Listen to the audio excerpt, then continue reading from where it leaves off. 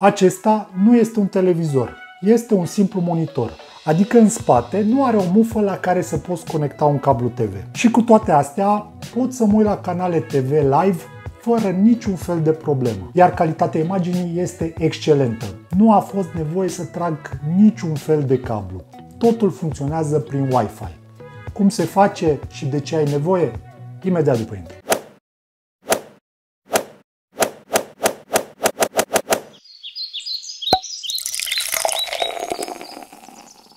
Salutare, eu sunt Vlad și înainte să începem acest videoclip vreau neapărat să vă atrag atenția asupra marmotelor croate din Sudan. Aceste marmote sunt pe cale de dispariție, iar oamenii de știință spun că singurul mod în care ele pot fi salvate este ca tu să dai un share, un like și un subscribe la acest videoclip. Deci nu uita, viața acestor marmote stă în mâinile tale. Bun, și să trecem peste acest moment mai cringe așa uh, și să vorbim de ce ai nevoie pentru acest setup. Pe partea de echipamente vom avea nevoie ori de un televizor, ori de un media player cu Android TV. Dacă cumva nu știi ce este Android TV sau ce este un media player cu Android TV, am să-ți las în descriere un link uh, spre un videoclip în care îți explic tot ceea ce trebuie să știi. Însă mare parte este vorba despre același Android pe care l-ai și pe telefonul mobil, însă de data aceasta configurat și adaptat în așa fel încât să poată fi controlat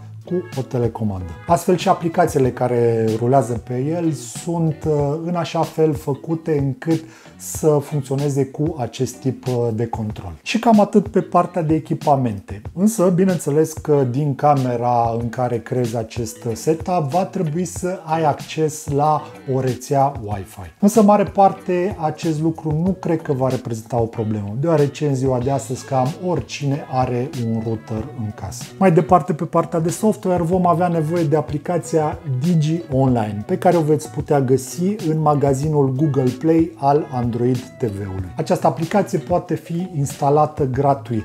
Însă în momentul în care veți porni prima dată aplicația, vă va cere să vă logați cu o adresă de e-mail și cu o parolă. Pentru a crea acest cont va fi necesar să fiți deja abonați la serviciile de internet și de televiziunea a celor de la Digi. Iar odată abonați veți avea acces gratuit la această aplicație. Cum exact vă faceți cont la această aplicație? Păi pentru asta am să vă mai las link la alt videoclip în care explic uh, întreg procesul. După ce v-ați creat contul și v-ați logat în aplicație, veți vedea o interfață foarte, foarte simplă. În mare parte veți avea trei secțiuni. În prima secțiune, canalele sunt aranjate pe categorii adică canale generaliste de sport, de știri, de muzică, de copii, de filme, și așa mai departe. Apoi avem o listă de canale, unde televiziunile sunt aranjate cam tot în același fel, adică în funcție de formatul lor.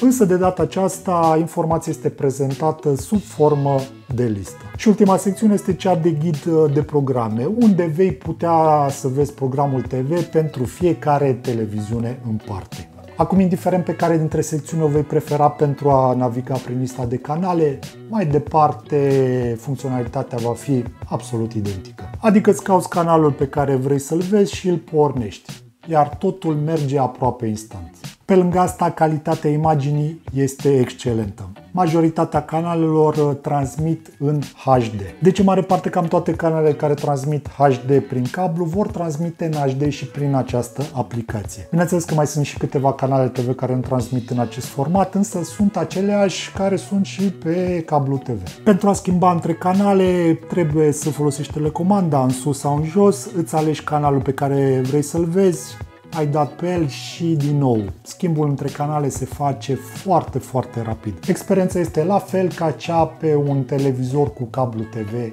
clasic. Haideți să ne uităm puțin acum cam și ce canale TV poți vedea pe această aplicație. Păi avem uh, TVR, Canal D, Digi24, Realitatea Plus, România TV, B1, Digisport, Eurosport, Paprika, DigiWorld, History Channel, Discovery, National Geographic, Travel Channel, BBC Earth, uh, HGTV, Film Now, TV1000, AXN, Warner TV, Epic Drama, Bollywood, uh, Film Cafe, Entertainment, Comedy Central, Minimax, Nickelodeon, Cartoon Network, Disney Channel, Disney Junior, Boomerang, DaVinci Learning, UTV, Kiss TV, MTV, Music Channel, Taraf TV, Rock TV, Prima, București TV și multe, multe altele. De asemenea, dacă cumva ai și abonament uh, la HBO, vei putea vedea și canalele HBO în uh, această aplicație. Acum, bineînțeles că există și ceva dezavantaje cu această aplicație și principalul dezavantaj este faptul că nu ai chiar toate canalele TV pe care le ai și prin cablu. Iar cele mai notabile absențe ar fi cele ale Pro TV-ului și a canalului Antena 1. Însă dacă nu urmărești uh, programele acestor canale, atunci nu te va afecta foarte mult pentru că ai văzut, ai foarte multe alte canale pe care poți să le vezi. Haideți acum să vorbim puțin și de ce ai vrea să-ți faci un astfel de setup, adică de ce nu ai trage direct un cablu TV. Păi poate că nu poți sau nu vrei să tragi acel cablu TV. Să spunem că televizorul este departe de un splitter. Astfel nu vei dori să găurești nu știu câți pereți ca să ajungi cu cablul la el. Plus că s-ar putea să fie total inestetic acest cablu tras aparent. Sau poate cine știe, nu te pricepi să dai găuri sau să tragi un cablu TV la un televizor și poate nici nu vrei să chem pe cineva să se apuce să-ți facă dezastru prin casă. Astfel această soluție este cu mult mai elegantă și nu necesită foarte multă muncă sau cunoștință. Indiferent de care ar fi motivul pentru care vrea să folosești un astfel de setup, îți pot spune că el va funcționa foarte, foarte bine atât timp cât ai cât de cât un internet decent. Și cu asta videoclipul de astăzi a ajuns la final. Dacă cumva ți-a fost de folos, am să te rog să dai un share, un like și să te abonezi pentru că ajută foarte mult acest canal. Mulțumesc că ai rămas cu mine până la capăt. Până data viitoare am fost Vlad. Numai bine!